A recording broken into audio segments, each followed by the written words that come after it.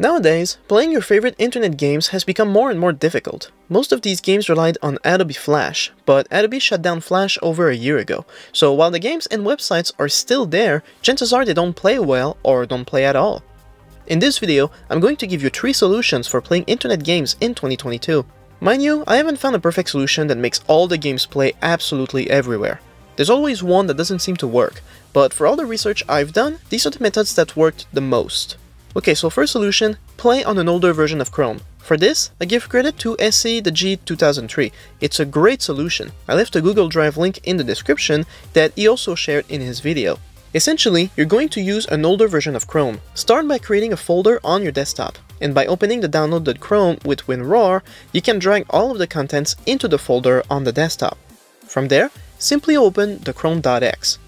This Google Chrome is an older version and most games will run out of the box when using this browser. All games I played in my last video, I did so using this browser. For Andkon, which is one of my favorite websites for games, Old Chrome has played all the games I've tried so far just fine. It's not perfect though, miniclip games are still broken. This brings me to the second solution, which you can combine with the first. Solution 2 Try different websites and browser.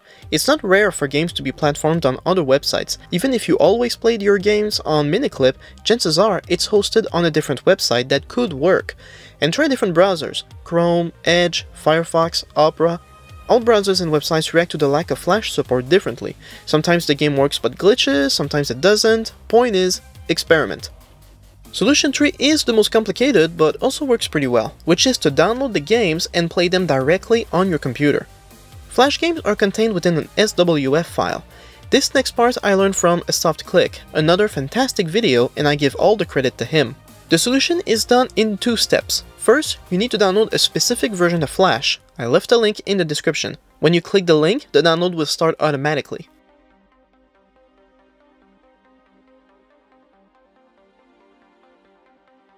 Then you need to get the SWF file for the game you want to play.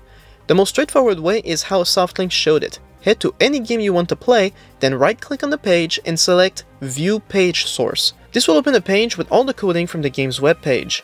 Using Ctrl F, you will open a search bar and type .swf. The page will highlight everywhere the .swf file appears. Find the link that starts with HTTPS and click on it. This should start the download of the SWF file. Now head to your desktop and where you downloaded the Flash player, double click it to open it. Then head to File, Open, then Browse. With Browse, select the SWF file you downloaded, then OK, and the game will start playing.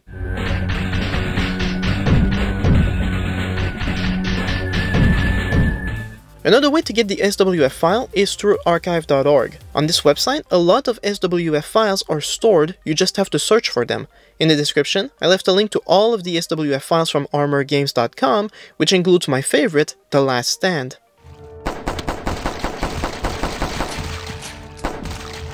And again, none of these solutions are perfect. Sometimes the old Chrome works, sometimes it doesn't. Sometimes the view page source doesn't give me the SWF file for download, and sometimes the SWF file doesn't work properly. But with these tips, if you really want to play these old games, you should be able to, one way or another.